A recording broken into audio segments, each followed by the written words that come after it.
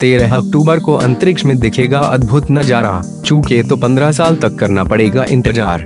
तेरह अक्टूबर को अंतरिक्ष में अद्भुत नज़ारा देखने को मिलेगा। चूके तो अगली बार देखने के लिए 2035 तक आपको इंतज़ार करना पड़ेगा।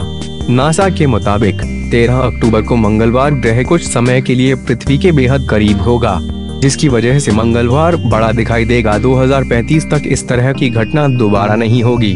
यह तभी होगा जब मंगलवार सूर्य के विपरीत होगा और पृथ्वी सीधे मंगलवार और सूर्य के बीच स्थित होगी। मंगलवार और पृथ्वी की परिक्रमा एक साथ होने की वजह से मंगलवार सूर्यास्त के समय आसमान में लोगों को देखेगा। उस समय ग्रह सबसे चमकदार और दूरबीनों में अपने सबसे ज़्यादा स्पष्ट आकार में नज़र आएँगे।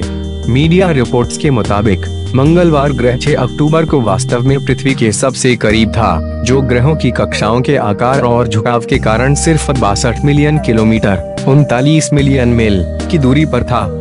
मंगलवार ग्रह चंद्रमा से 160 गुना अधिक दूर है और 2035 तक यह फिर से नहीं देखा जा सकेगा।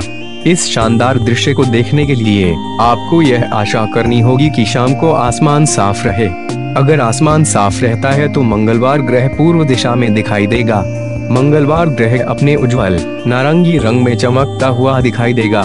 मंगलवार ग्रह आधी रात तक दक्षिण दिशा में चला जाएगा। यदि आपके पास उच्च गुणवत्ता वाला टेलीस्कोप है तो आप ग्रह की सतह की एक झलक पा सकेंगे। जो ग्रह नग्न आँखों से तारे की तरह दिखता है, वे चंद्रमा के समान स्पष्ट रूप से दिखाई देगा।